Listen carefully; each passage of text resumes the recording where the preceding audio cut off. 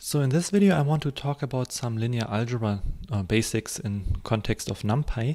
We won't be using linear algebra heavily in this class except of course for basics like um, vector dot products and matrix multiplication and so forth because like I discussed previously it allows us to implement code more efficiently and more concisely if we use basic linear algebra notation. So um, yeah we can think of a one-dimensional array as a row vector Actually, we can also um, define it as follows. So that would be then a row vector. I always confuse the terms row vector and column vector. So row vector is naturally a vector consists of one row and has yeah, multiple elements. And uh, similarly, we can uh, create a column vector by reshaping this one, right? So then we will have uh, one column and multiple elements. So it would be a column vector representation. I also just noticed I don't even need these square brackets here. And also instead of reshaping the vector here, instead of reshaping our row vector, no, let's do it like this. Instead of reshaping this, we can also just add a new axis using np or numpy new axis, which will uh, do the same thing. Um, I think row vector is something weird here right now. Yeah, see, I um, redefined it here above. So let's go back. Okay, row vector, and then yeah, this one is basically the same as the reshaping it. Okay, um, instead of using numpy new axis to create an additional axis, so this is um, adding an additional axis. I can actually do this two times. Then we will get a 3D tensor. And I could also if I wanted to add it at the beginning and so forth. So I will create additional dimensions with this new axis here. And you can see now it's a 1 uh, by 3 by 1 by 1 tensor. So it's a rank um, 3 tensor, uh, 4 dimensional tensor. And um, yeah instead of using new axis we can also just use none. So it doesn't really matter which one you use, it's just maybe a matter of preference. You can also use none. It will also create the new axis.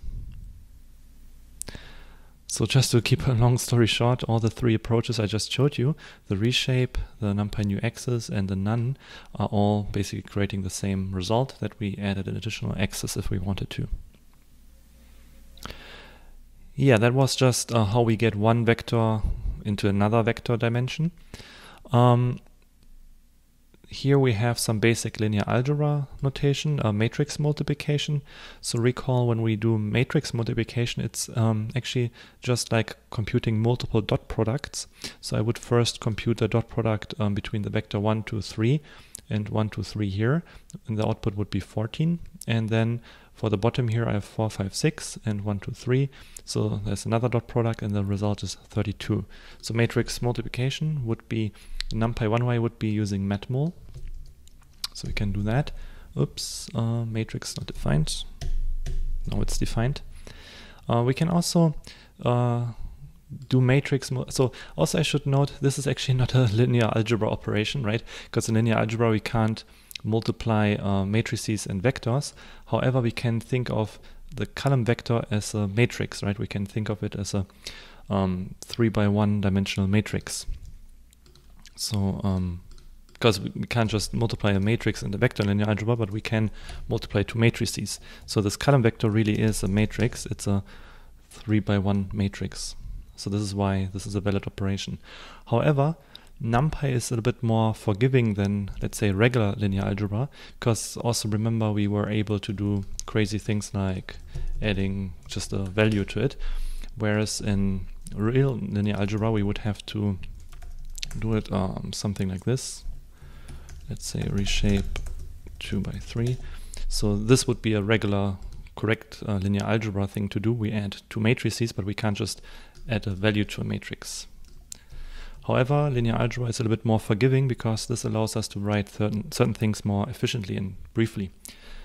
Um, and similarly, Met, uh, NumPy allows us with matmul, with matmul to also multiply a row vector, which doesn't have the correct uh, dimensions, right? It's not three by one, it's just um, three elements, but this one would still work.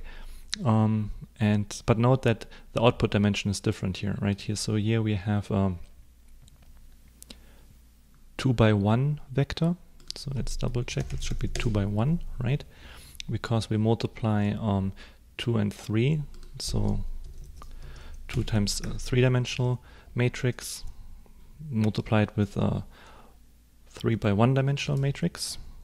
Let's do a dot here. This should give us, oops,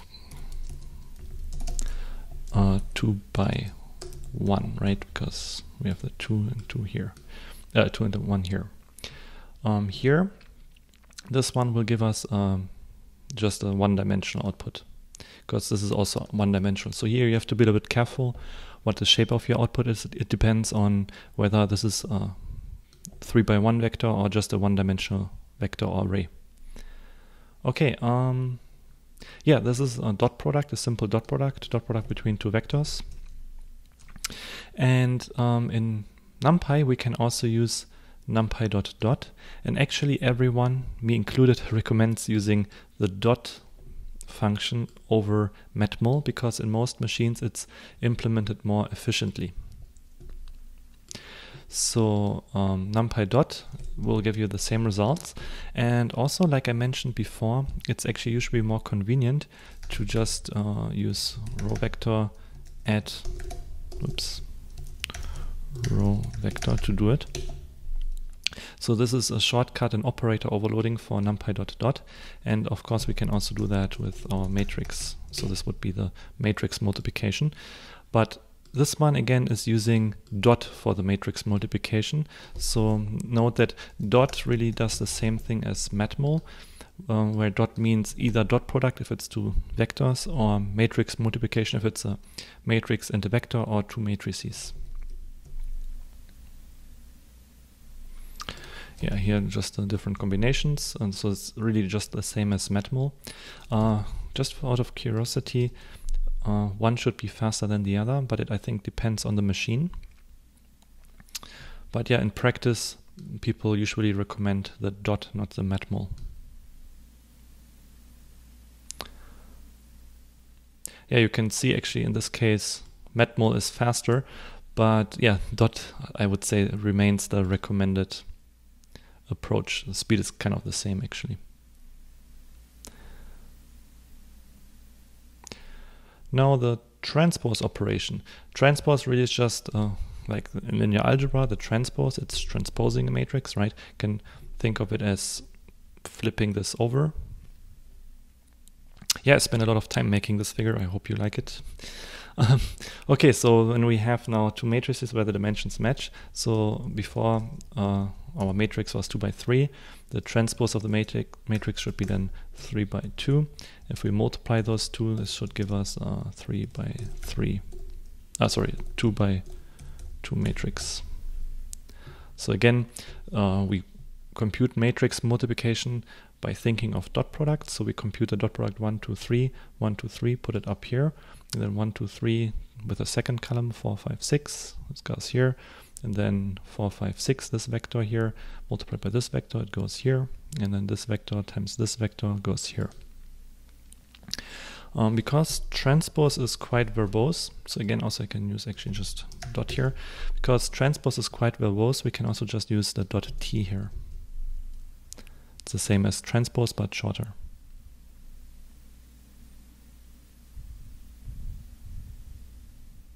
Yeah, and um, also note that the matrix, so NumPy has a matrix type, which is a special type for uh, two-dimensional arrays.